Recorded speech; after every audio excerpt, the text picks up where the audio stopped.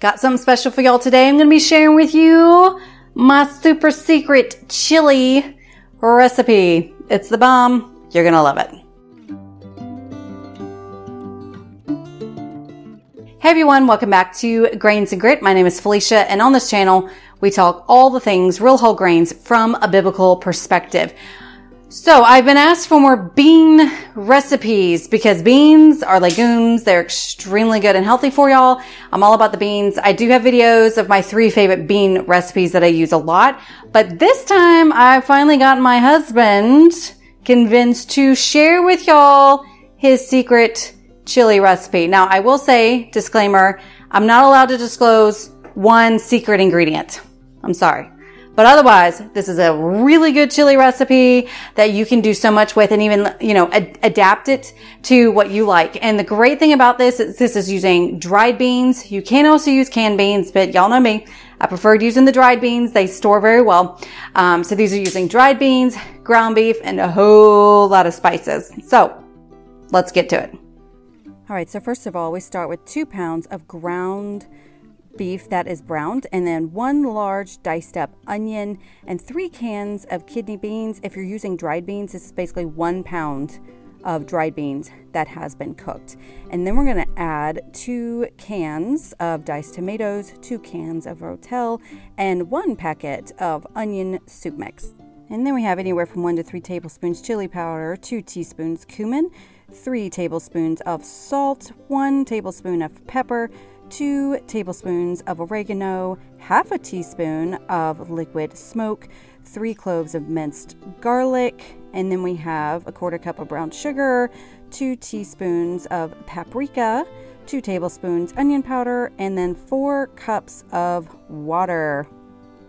Wowzers, yes, that is a lot of ingredients. And then we're just going to stir them all up and then we're going to put it on our stove top, get it up to boiling, and then we put it on simmer for at least 30 minutes or longer. Or at this point, you can just be dumping all of this into your crock pot. Put it on low for about six to eight, six to eight hours or high for three to four hours. Bottom line is the longer that it sits here, the better the flavor gets. So this is actually perfect to make one day and then actually consume it, eat it the next day because the flavors just get amazing. But do with it as you will. But while this is cooking, we're going to whip up some cornbread, and this is with freshly milled corn and freshly milled wheat. I do have a video and recipe for this. I will put it in the description box below, but nothing better with chili than some homemade cornbread. So we're just making this up because this is going to easily cook up while the chili is simmering on top of the stove. All right, so here we have it where it's gotten up to a boil. The chili has gotten up to a boil.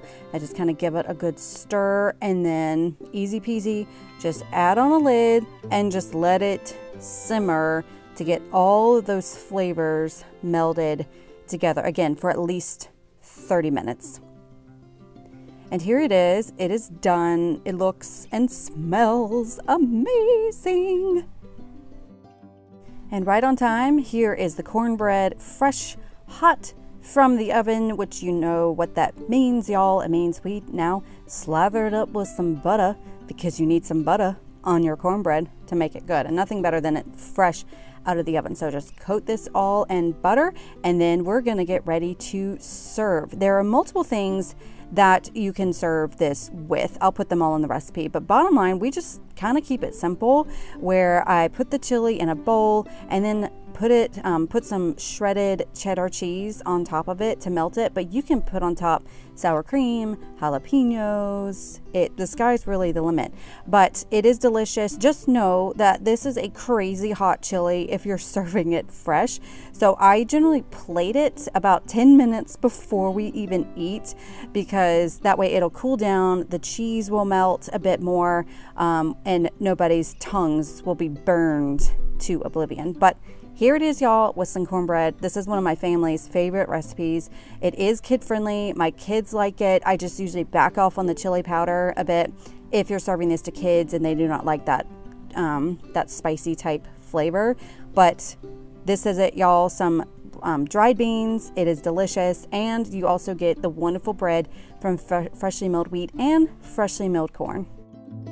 There you have it, y'all. Hopefully this was helpful. Do know this is an excellent meal to freeze, to throw in a crock pot. Um, so this is a very large bulk recipe. This actually feeds like two meals to my large family. So feel free to cook this entire recipe and then half of it, just freeze it for a time whenever it's a rainy day and you need a quick freezer meal. You can just pull it out, throw it in the crock pot, have that warming up all day. And again, printable recipe will be in the description box below and I'll have all of those details as well.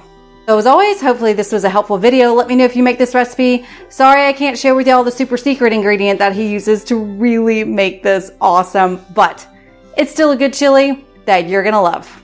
So as always, y'all have a wonderful day and I'll see you next week. Bye!